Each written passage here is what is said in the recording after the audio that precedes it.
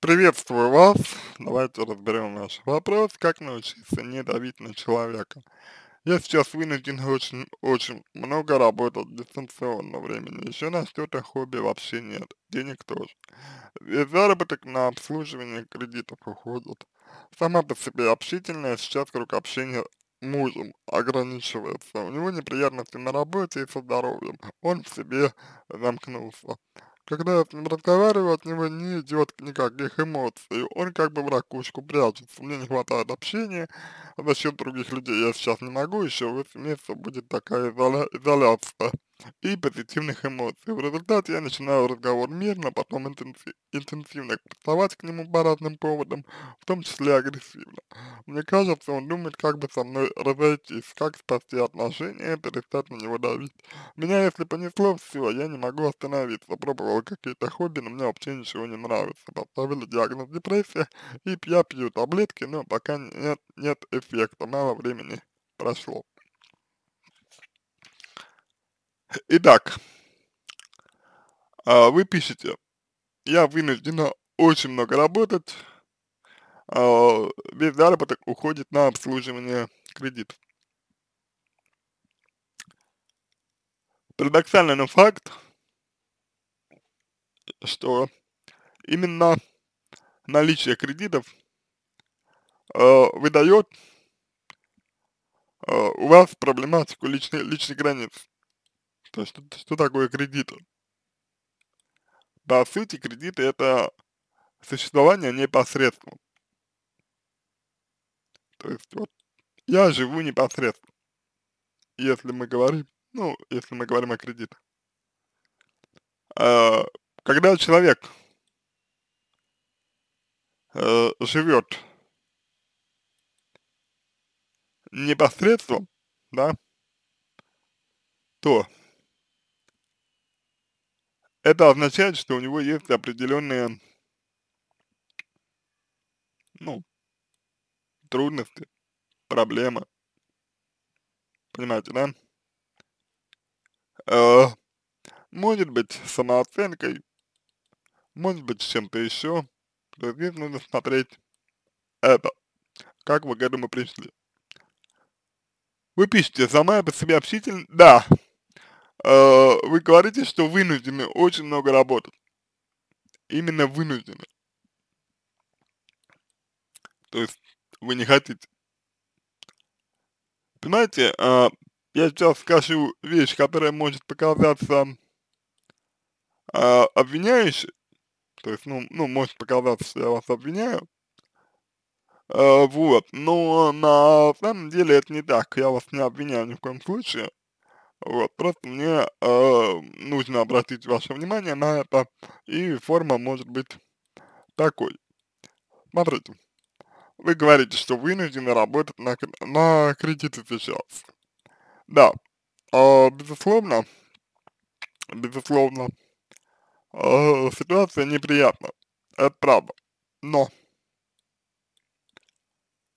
э, суть заключается в том, что получается, что то, что вы э, живете непосредством, и после этого потом э, должны за это расплачиваться, да, то есть платить, ну, за все, за, за все приходится платить, вот, э, вы как будто бы считаете несправедливым, то есть это вынужденная мера, то есть вы себя насилуете, вы себя заставляете. Э, вероятно, это уходит э, корнями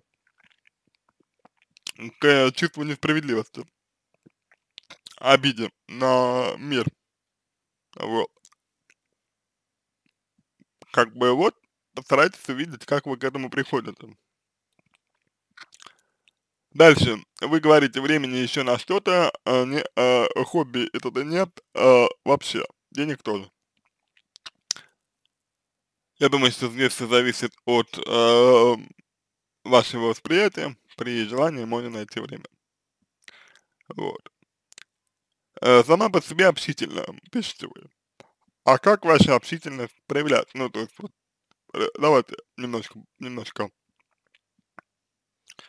повнимательнее присмотримся к вашей общительности, что она из себя представляет. Э, дальше, сейчас э, круг общения ограничивается му му мужем.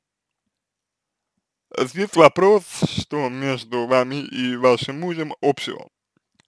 У него неприятности на работе со здоровьем, он замкну, замкнулся в себе. Это неприятно, ему нужно к психологу. Когда я с ним разговариваю, от него не идет никаких эмоций, он как бы в ракушку прячется. Мне, мне не хватает общения а, и позитивных эмоций. Опять же, вопрос, как вы к этому относитесь, к тому, что вам не хватает общения негатив, и позитивных эмоций? То есть отдаете ли вы себе отчет, что это ваша внутренняя борьба вызывает такую потребность, ваш внутренний конфликт? Э, в результате я начинаю разговор мирно, а потом интенсивно приставать к нему по разным поводам, в том числе агрессивно. Я думаю, что это связано с тем, что вы не говорите, чего хотите, а как бы мирным разговором пытаетесь э, замаскировать то, что вам нужно. Вот. Э, ну, а потребности, они в итоге вот э, э, как бы себя проявляют в виде интенсивности и агрессии.